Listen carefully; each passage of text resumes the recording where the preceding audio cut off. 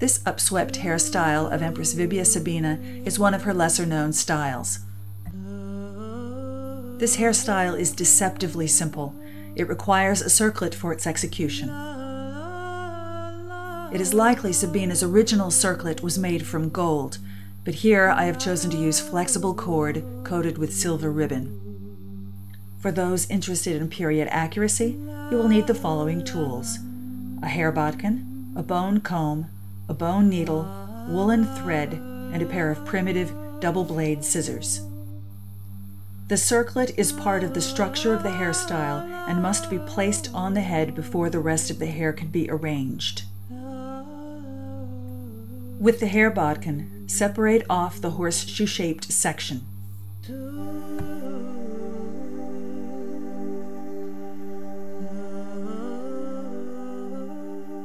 Slide the circlet onto the hair and notch into the horseshoe at 5 and 7 o'clock. Secure the rest of the hair in the horseshoe section with the bodkin.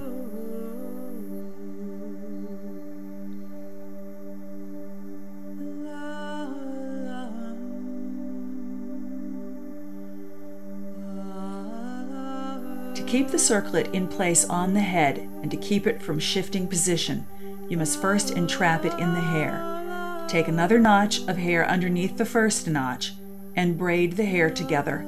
This will secure the circlet at the base of the braid at both 7 and 5 o'clock.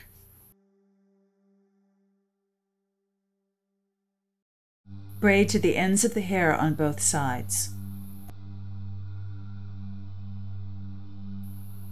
Drop the hair from the bodkin, part it down the center, and distribute it evenly over the top of the head. Gently comb the hair smooth. Thread your bone needle, then tie a knot at the end of the eye, and that will keep the thread from falling off the needle.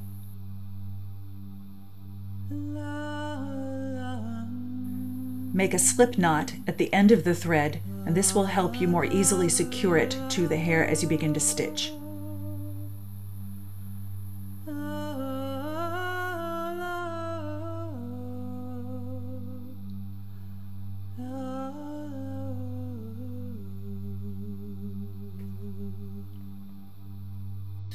Split the hair up the back vertically.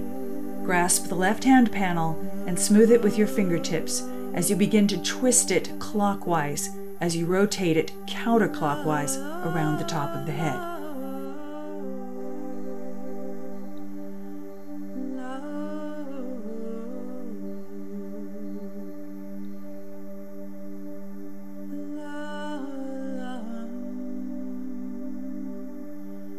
Create a circular loop with the hair, carefully concealing the ends. Take your needle and thread and set your first stitch. On the first stitch, pass the needle through the slip knot. This will lock the thread into the hair.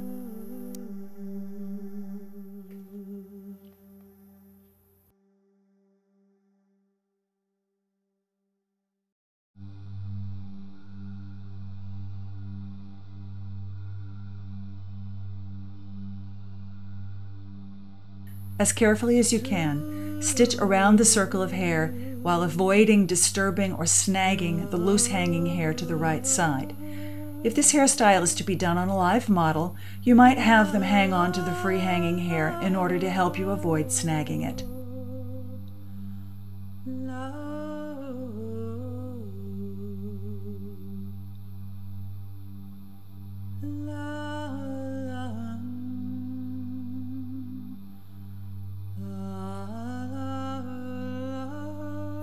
If you take your stitches carefully, following the fall of the hair, you may be able to completely conceal the thread from the visible side of the hairstyle. When you are finished stitching, leave the needle attached to the hair.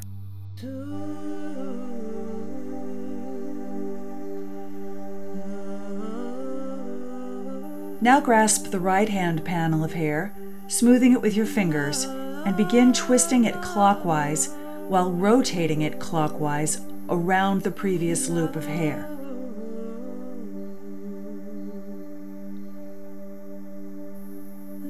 As you rotate, tuck the ends of the hair into the coils.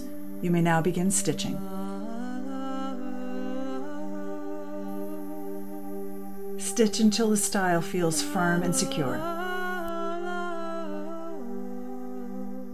Remove the needle and excess thread and the style is complete.